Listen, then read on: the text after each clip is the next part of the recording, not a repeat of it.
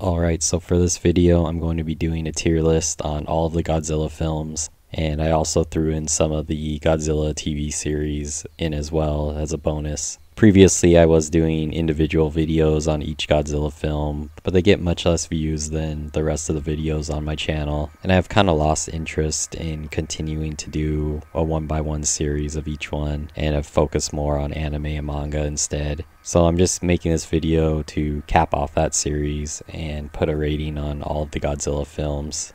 So anyway, let's get right into the video. Let's start off with the original, obviously it's going to be S tier. It's the one that started it all off. Probably the best film in the franchise, in my opinion. The movie was a sci fi masterpiece at the time that it came out, and it still holds up well to this day, and thus it remains the gold standard of Godzilla films. Next here we have Godzilla Raids again. Um, I'm gonna have to go C tier here. I'm very close to putting it in B just because um, I really enjoy the early films. It is an important film due to having uh, being the first time that Godzilla fought another monster. Plus, it's the introduction of Anguirus, which is pretty cool. It's not a horrible film, but it's definitely was rushed out trying to capitalize on the popularity of the first film. They made some bad decisions with the special effects. The monster fights use sped up uh, footage that kind of takes away the weight of the monster fights. And this film has probably by far the worst Godzilla suit of any of the films in the entire franchise. So to me, this is either the worst of the B tier or the best of the C tier. Next here we have King Kong vs. Godzilla. This one I'm going to go A tier. It's one of the most fun Godzilla films the spectacle of the famous Japanese monster versus King Kong, the American monster, was a matchup of the century. The fight scenes were some of the best of any of the Showa era films, and it's definitely one of the must watch Godzilla films, in my opinion. Definitely one of the most memorable and definitely one of the most fun. Next, we have Mothra versus Godzilla. This one's another A tier. It's another really solid Showa era film. The fight scenes weren't quite as good as Kong vs. Godzilla, but this one has a really good plot and memorable characters. Probably the best plot and human characters since the original. This one also makes the A tier for me. And next here we have Ghidorah, the three-headed monster. This one I'm going to put slightly lower than than King Kong versus Godzilla or Mothra versus Godzilla. It's way better than Raids again. Uh, this one's closer to the border of A and B for me, where Raids again was more on the border of B and C. This one's solid. It's um, not quite as fun as King Kong vs. Godzilla, and not quite as good as Mothra vs. Godzilla. I think the human plot was a little bit weak, and you see the series taking a more cheesy, kid friendly turn that the franchise will continue on for the next several films. This one's memorable because it is the first with King Ghidorah, and the fights with King Ghidorah are obviously classic, but I don't think as a movie it holds up quite as well as some of the other ones, so it's just a little bit lower. And then we have the invasion of Astro Monster. So this one has King Ghidorah back again. This one I enjoy the plot a little bit more. I'm going to put it on the A tier. This one's much more of a sci-fi plot. Um, I like the visuals more. I like the human characters and the plot more in this in this film once again they do some kind of cheesy stuff and silly moments that kind of take away from the film but once again another one of the must watch godzilla films can't go wrong really with any of the early films but this one's another one of the classics from the uh, showa era that set up the franchise as the uh, massive franchise that is today and the next one here we have uh, Ebirah, Terror of the Deep. This one I'm going to put on B tier. Um, this one I feel like gets more hate than it should get. I don't think it's a bad film at all, and with time, it's actually become one that I kind of enjoy. It's a bit less serious, and a lot of people hate it because is not really the coolest monster. It doesn't really put up the best fight for Godzilla. But I've come to kind of enjoy it more over time, and I think it's pretty charming and pretty fun. So I don't really consider it one of the worst Godzilla films that I see some people rank it as. So it's going to be a B tier for me. It's definitely not one of the must-watch essential Godzilla films, but it's pretty it's pretty fun and I definitely do still enjoy it. And next we have Son of Godzilla. This one is one that I didn't like too much at first, probably because of the introduction of uh, Minya, but over time it's kind of grown on me. I'm gonna put it kind of at the borderline. It's kind of gonna be B tier for me. Probably not one of the higher B tier, but it's kind of a fun film. Um, definitely more on this one going more in the kid friendly direction that you'd see in the future. It's not one of the best films, but I did kind of enjoy the plot. It did end up being one of the more fun films in my opinion. This is not really one of the best films in any way, but but overall the film has a fun feel to it that is really memorable to me and is one that I look back on fondly now. And although I say it's not one of the best plots, it's probably one of the more memorable plots and characters to me compared to some of the films where I kind of would forget what they were about outside of what monster Godzilla is fighting. This one I actually remember much more, so it was much more memorable to me. Next we have Destroy All Monsters. This one I'm going to put in A tier. It's really the last of the classic films, and I believe was intended at one point to be the final Godzilla film, kicking it off in a big final battle, bringing in the most monsters we've ever seen in a single film before. The plot of the film and the human characters are not the best, but seeing all those monsters fight in a single film was really awesome, and it definitely remains to be one of the most memorable films in the franchise to me. It's definitely one of the films that I would say is a must watch for people who are not into Godzilla films. And here is uh, Godzilla's Revenge. It's widely considered the worst Godzilla film. I'm also going to put it in the D tier.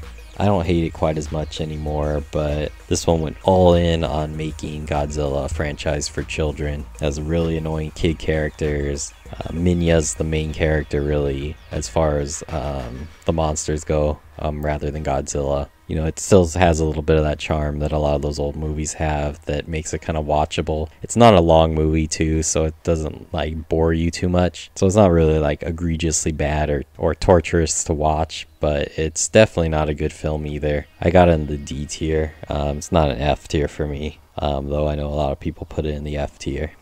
Um, next, we're going to go Godzilla versus Hedorah. This one is uh, kind of a weird film. I'm going to go B tier. Um, it's not perfect, but I've always actually liked it. I think it's a pretty pretty cool film. I've always liked Hedorah as a, an enemy for Godzilla. Thought it was a pretty uh, unique uh, monster. I really like the fights between Godzilla and Hedorah. Some of my favorite uh, monster fights. I like how it's kind of like a, a, kind of a strange film too, where it goes into like animated sections and it has like a, this weird like psychedelic stuff. It's kind of like a crazy film, so I really like this one. So I'm just gonna go B tier though, because it's not perfect. Um, the strangest of the film is kind of double edged, uh, kind of makes it more interesting and memorable, but also detracts from you know being like a truly solid, great film. So next is Godzilla vs. Gigan. This one and Godzilla vs. Megalon kind of go in a more silly direction, more more kid-friendly direction. I'm still going to give it a B. This one was pretty fun and pretty memorable. I just love Gigan's monster design. I like the tag team between Godzilla and Anguirus versus Gigan and King Ghidorah. It was just a fun movie. Definitely not one of the best, but um, definitely worth watching. Definitely has like the classic charm of the films from that era. So I'm gonna put it B. I'm also gonna put Godzilla versus Megalon in B. This one is super cheesy. It has Jet Jaguar and the infamous Jet Jaguar theme song really silly film, but also um, a charming and fun film. So I'm going to put it in B. Alright, now we have Godzilla versus Mecha Godzilla. This one's really solid, um, close to an A tier, but I'm still going to go B. I don't think it's quite on level with the uh, other A tiers I have, but stronger than most of the B tiers that I have. Um, this one's really a, a classic uh, Godzilla film as well. It's kind of got a typical plot for um, the Godzilla films at its time. Not the most interesting plot, but pretty decent. Got Mecha Godzilla is one of Godzilla's classic enemies, so it's cool to see his introduction here. Solid film. And then we have Terror of Mechagodzilla. This one I'm also going to go B. Um, a lot of the Godzilla films I would say are, I rank them, since I like Godzilla films, rank them kind of above average uh, for the average film. So I'm going to have probably like a lot of B tiers here. Um, I would say the average Godzilla film is probably a B tier to me. Terror of Mechagodzilla, not quite as good as the the first one, um, a little bit cheesier, but still pretty solid. The last of the Showa era, and the last Godzilla film that Ishiro Honda would direct. It's another solid one. I would recommend it as well. Now we have the first of the Heisei films, Godzilla 1985. This one I'm gonna go, this one's closer to an A tier, um, but I'm still gonna go B. Um, it's not my absolute favorite, but it's a pretty good remake, kind of recapturing the classic feel of the original Godzilla as Godzilla with time kind of became a hero and defender of Earth, this film reset the series, kind of uh, resetting it back to taking place after only the original, resetting to where you have Godzilla being a true threat to humanity again. It's pretty cool to see since it's something we hadn't seen in a while. Next, we got Godzilla vs. Biollante. This one, um, I'm going to actually go S. Probably my favorite of the Heisei films. I think Biollante is one of Godzilla's coolest enemies. The film was always one of the most memorable to me um, from my childhood. I thought it was a really good, like, balanced film between the plot with the, the human characters and the monster fights. I thought it was uh, really everything I would want the God- Godzilla film to be at its time. So I'm going to go S tier. And then we have uh, Godzilla vs. King Ghidorah. This one's another really good, really solid Heisei era film. I really like the plot. I really like the portrayal of King Ghidorah. Didn't love his backstory of being created from the Dorats, but I did like time travel aspect to the story. I thought it was an interesting uh, take that they haven't done before. Uh, I'm gonna go A tier. It's one of the stronger films. A little, I like it a little bit less than Godzilla vs. Biollante, but it's pretty close. It's one of the, um, it's definitely one of the better Godzilla films. So I'm gonna go A. Godzilla vs. Mothra, I'm gonna go B. It's pretty good, but a step down from the last two films. I thought the plot was more boring. Human character plot was not nearly as good as the last two. It was one that I liked a lot when I saw as a kid, and it still holds up. So it's gonna be a B. It's it's solid, but not great for Godzilla vs. Mechagodzilla 2. This one's really solid, a step up in the human side of the story. I really liked what they did with Mechagodzilla, having him kind of be built off the skeleton of the original Godzilla. That was pretty cool. It's not my absolute favorite, so I'm gonna once again keep it slightly below the A tier, but uh, another good film. For Godzilla vs. Space Godzilla, I'm gonna go slightly lower. I'm gonna put it in C it's not one of my favorite. It's the point where I kind of felt like the Heisei era films were kind of getting tired. This one was really boring. I could barely remember what the human characters were doing. The logic behind the creation of Space Godzilla was really uh, a stretch and not really well thought out. His design does look cool though. Looking back, I probably should have went with uh, Son of Godzilla, also in the C tier. I don't really put it quite on the level of the other B tier films, and I don't think it's better than uh, Godzilla vs. Space Godzilla. So I'm gonna go with it. I'm gonna actually change my pick there and go with C tier. It does have some charm. I do kind of like some things about it, like as I said before, but it isn't that great of a film. So I am gonna put the uh, drop that down to C tier. Next we have Godzilla vs. Destoroyah. I'm gonna go uh, A tier on this one, close to an S tier but uh, maybe just a small step down from S. This one I really like, borderline S tier for me. It really felt like at the time the conclusion of Godzilla um, really wrapped everything up nicely. You know, and it, it really ended everything on a bang when it came out, I remember, even though the film was not released here in the United States, killing off Godzilla um, in the film uh, was a big deal. It's a really good film, has awesome monster fights, some of the best. Destoroyah is one of the coolest enemies that Godzilla ever had to go up against, one of the strongest monsters. So, really awesome design, really awesome fights, and really good film. Now we are into the Millennium series. Um, this is Godzilla 2000 it's an okay film. I'm gonna go back to uh, B tier, another B tier film. It gets a little bit boring at times. Uh, Orga is kind of cool, but is not the most memorable of Godzilla's adversaries. Some cool uh, effects, some cool fights. Still a pretty good film, but not one of the absolute best. We have Godzilla versus Megaguirus. This one, um, another uh, B tier, a decent film some cool monster fights. Another one that's decent, but kind of gets a little bit boring at times. It's kind of something that plagues a lot of the, um, especially I think the Millennium series. As the more recent films got longer, they sometimes struggle to fill the film with interesting plot for like a two hour movie where a lot of the older ones, like the Showa era films, would be an hour and a half long. So even though the plot wasn't that good, it never really had to, enough time to get really boring. Some of the Millennium films and even some of the Heisei, like Godzilla vs. Space Godzilla, would kind of drag at times. It's an enjoyable film. It's one that I could watch and enjoy it today. It's not bad or anything, just not really one of the more memorable ones, so it's just B.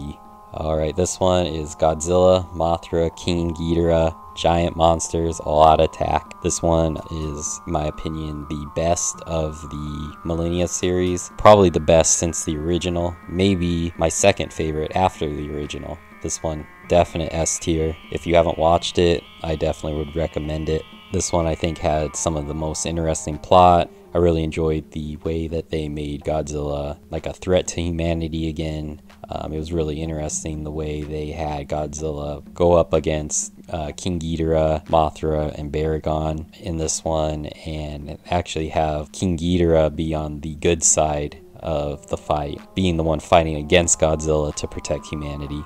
I thought it was a really interesting portrayal of Godzilla, really different. Um, rather than just him being a monster, he's uh, kind of like a vengeful spirit um, of people killed by Japan in wars coming to get revenge on Japan. It was a really interesting portrayal of Godzilla, one of the more creative films, and engaging on the human side. Never got boring. Definitely one of the best, one of the must see Godzilla films. So, definite S tier. And we have Godzilla against Mechagodzilla, another B tier. Not one of the most memorable or fun films, but still pretty good. Good effects. Pretty solid on the human characters on this one, and pretty good fights, so it's decent. Then we have uh, Tokyo SOS, which is another uh, film that features Mechagodzilla, somewhat of a kind of sequel to the last film. Another B. I don't think it's quite as good as Godzilla against Mechagodzilla, but still good enough for a B tier. I think this one has a little bit less of a solid plot, um, a little more boring than the last one, but still gonna pull out in the B tier. It's it's solid, just not great. This one is Godzilla Final Wars. I'm actually gonna go A tier on this one. It's not a good movie in terms of, you know, actually being a good movie, but it's easily the most fun in the entire franchise. It's a spectacle that's must see for any Godzilla fan or anyone who likes monster movies. This one's basically just about Godzilla going around and fights pretty much every monster he's fought in the past and absolutely destroys all of them. It's got the the best monster fights. It's all action. It's it's a dumb movie um, with crazy fight scenes between the human characters and and everything, but it's it's easily the most fun film. If you want to watch something crazy and watch something just entertaining, definitely this is the pick. You'll see Godzilla go up against pretty much every every monster, and most of them he'll just destroy. This film is uh, definitely extremely fun. It was the last Godzilla film for a while, and it kind of felt like it capped everything off, capped off the whole franchise, and just like this huge extravaganza of crazy monster fights. It just was a lot of fun.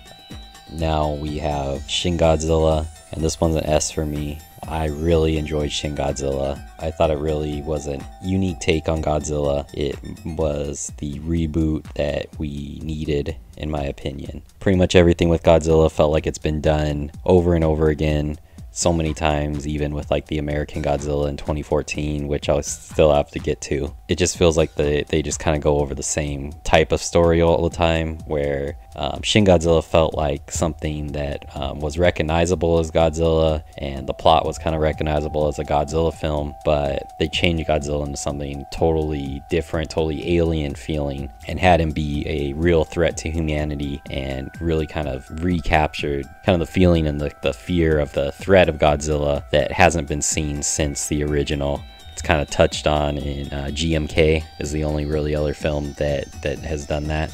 It was directed by Hideaki Anno of Neon Genesis Evangelion fame. So that was intriguing when it came out just to see him uh, take on a live action film, and it definitely worked. I really thought it brought the franchise to the place it needed to be. And if we were going to make a modern Godzilla film, this really, you know, checked all the boxes of what I thought a modern Godzilla film should be like. I really enjoyed Shin Godzilla.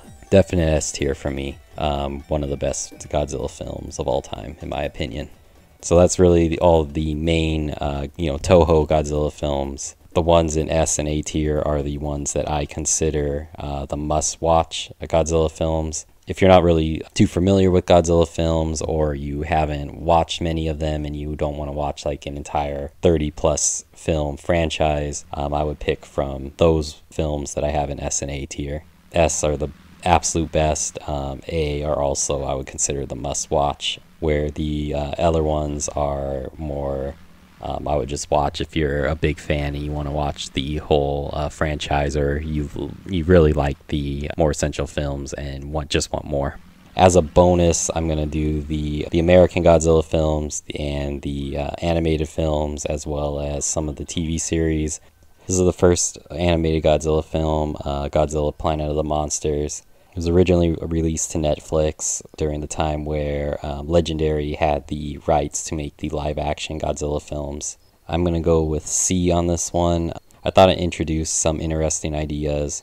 I kind of liked what it set up with Godzilla, um, Godzilla Earth. Um, I thought he was pretty cool. Um, the biggest Godzilla that we've seen so far. I thought it was kind of interesting to see a future where Godzilla defeated humanity and humanity had to leave planet Earth due to Godzilla's presence, and then they come back and try to reclaim Earth from Godzilla. I thought that was a cool plot. Unfortunately, it would not be well executed throughout this film trilogy. The film doesn't always look the best. Um, the CGI and the animation sometimes looks pretty bad, and I think um, the characters, especially the humans, a lot of times look a little weird with the CGI. I don't think it's it looks that great. I liked how um, the plot was set up, but I don't like really the execution of it. I thought um, it ended up being pretty boring and spent a lot of time on the human characters that never really developed and never really interested me never made you care about them. Which brings us to the next film, which I'm gonna go. I'm gonna go D tier. Uh, this one's the most boring of the entire trilogy spends a lot of time on these human characters that you don't care about. The trilogy set up this interesting premise, but they just don't really capitalize on it. You have three movies that just don't really go anywhere. I mean, three movies length of material was just too much for the little bit of development and plot you have here. They had some interesting ideas again with, with like the way Mechagodzilla was portrayed in here, but they don't really ever do anything interesting with it. So it ends up being a very boring film. Um, low point so far. I don't think it's an S, an F tier, which I would reserve for the all-time worst movies. I don't think Godzilla actually has an F tier movie in its franchise. This one and Godzilla's Revenge come close. I don't think I actually have a Godzilla film that isn't real F tier to me. Um, I think all the Godzilla films are at least somewhat enjoyable. They're at least fun. You know, there's other monster franchises with F tier films like uh, Gamera has like Gamera Super Monster, uh, which is like a true F tier, uh, or other kaiju films like Daigoro versus Goliath that I would put in F tier. I don't think any film in the Godzilla franchise is that bad. I'm also going to put uh, Godzilla, um, the Planet Eater, also into D tier. This is another very boring film with another cool premise with the way that King Ghidorah is portrayed. You know, he's this massive monster, kilometers long, that can destroy a whole planet, and he's kind of uh, doesn't really have like a physical body, which makes it hard for Godzilla to fight. It's a really kind of cool different approach to King Ghidorah, but the way the movie takes it ends up being uh, boring and just doesn't go anywhere interesting. And the characters are uninteresting and it ends up being another boring movie unfortunately then we have Godzilla 98. Um, this one's another D tier for me. It was a massive disappointment though for me as a kid. I remember this being like one of the most hyped movie I ever imagined. Um, so many advertisements. It was just so exciting to come out. And then when it actually came out and watched it, it was just boring. A lot of people say that it's not really a bad film, it's just not a good Godzilla film. And I somewhat would agree. It's definitely a bad Godzilla film because it's just not really Godzilla. It kind of reminds me of that scene in Jurassic Park where the T Rex runs loose in, I believe, San Diego, where it's running loose in the city. I mean, it kind of feels like that scene, but with a bigger monster. But he's just not as big as, as Godzilla, who's like typically leveling cities. He's just kind of like running around in the city. It just doesn't feel like Godzilla. It's disappointing as Godzilla, but I also don't really consider it a good movie. It was really boring to me. It's not a film I would, you know, ever go really go back to to watch again. Maybe it would be a C tier just on its own merits, but just the disappointment factor drops it to a D tier.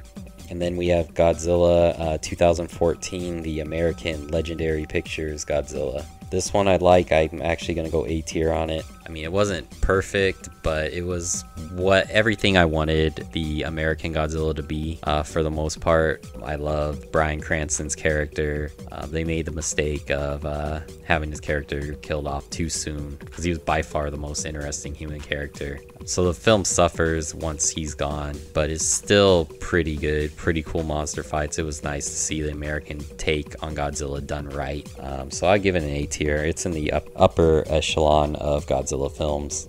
Then we have Godzilla, King of the Monsters. This one's not quite as good. Um, I'm gonna give it a B tier. It was pretty enjoyable. I liked Godzilla fighting King Ghidorah. Um, I liked how you had Mothra and Rodan. I like the way they brought in some of the recognizable monsters. The human characters were decent at times, sometimes a little annoying, but pretty much okay. Monster fights were pretty much as good as you could hope for. So I actually did like this one quite a bit a step down from 2014, but uh, pretty close. This is probably my most controversial pick of the entire video, but I'm actually going to put Godzilla vs. Kong all the way in D tier. I did not like this film. Really wanted to enjoy it because I waited for it for a long time uh, to come out, and it was like the first movie in theaters after you know the theaters reopened up and I really wanted to like this movie. I mean, it seems awesome, you know, Godzilla versus Kong. You know, it's the rematch of the classic fight from the movie from the 60s, reimagined in the modern time. And just the idea is awesome. Seeing Godzilla versus Kong is an awesome thing. And the fights were done pretty well. But outside of the monster fights, I just couldn't get over how much of a bad Hollywood movie this is. This movie is pretty much everything that I don't like about Hollywood movies. The characters are so annoying, the plot is just really dumb, and it's boring as many times as I try to enjoy this film, I ended up coming to the conclusion that, you know, it's basically a two hour long movie and you have like 15 minutes of awesome fight scenes and then an hour and 45 minutes of a bad movie. And I, it's just a movie that I would not want to watch again. If there's a controversial pick in my list that people don't like, um, I think this is going to be it. I think a lot of people rank this B tier or better, but I didn't. I just didn't like it. So that concludes the actual films on this list. I put a couple TV series just as a bonus. Um, the first one is Zone Fighter, which isn't really a Godzilla series, but it's a series that Godzilla makes a few appearances in as an ally to the uh, main character Zone Fighter. And this one is basically Toho's answer to Ultraman. It's kind of a poor man's Ultraman. I'm gonna put it in a B tier. It's pretty, in, it's it's fairly enjoyable for that kind of kids TV show of its era. The way that Godzilla, King Ghidorah, and Gigan make some appearances in the series is pretty awesome. It's not that great. It's kind of a poor man's Ultraman, but I did enjoy it, so I'll put a B tier. Then we have the uh, Hanna Barbera Godzilla series. This one is gonna be a D tier. It's kind of a typical uh, Hanna Barbera cartoon that you got from that era, where it's just kind of you know this episodic kind of monster of the week kind of format. Basically, a monster shows up and then everything's kind of concluded in a single episode. You know, it'd be pretty much completely forgotten and completely unnoticed if it wasn't having the Godzilla name on it. If it just had like original characters, it's not very, it's not really very good. Uh, I might put it C tier, but Godzuki drops it to D tier because he's just too annoying. Then you had the uh, Godzilla um, animated series. This one is the uh, the American 1998 Godzilla done right, where I felt like the film was kind of a lazy cash grab off the Godzilla name. This one was actually made with uh, care for the Godzilla franchise, and I'm gonna put a B tier. It's um, probably close to an A tier kind of on the borderline for me. Um, it's not my ultimate favorite, but it's a it's a pretty good cartoon. I wasn't really too into it as a kid. Um, I remember it being on TV, and the disappointment of the uh, movie kept me from watching the the animation. I saw it when I was older, and it's it is solid. It, they did a good job. and I probably would have loved it as a kid. So I, I regret missing out on that one.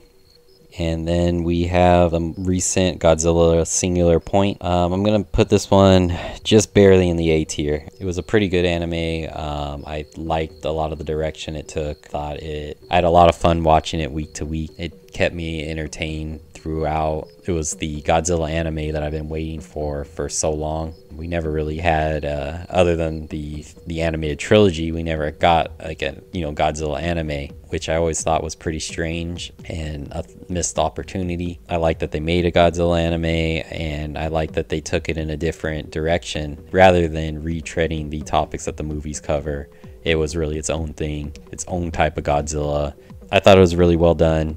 I think sometimes it drags on a little bit where they just throw out too much technical jargon and try to make things sound complicated and waste a lot of time with that. And that's probably its biggest weakness, but I did really enjoy it. Um, I would really like to see more Godzilla anime. So I'm going to put this one in the A tier, and that's going to be the end of the list. Hope you enjoyed it. I would definitely appreciate if you would like the video and subscribe. Definitely would help my channel out and would mean a lot to me. I may make more tier lists on other franchises, like maybe Ultraman or uh, Gamera soon. I don't really have any more tier list planned. This is more just to cap off uh, my Godzilla review series that I started um, when I first started the channel. Uh, was actually my first videos I started working on were Godzilla uh, reviews. I originally planned for my uh, channel to be mostly on, uh, you know, Tokusatsu. I was going to go through the Godzilla films and do like Ultraman and uh,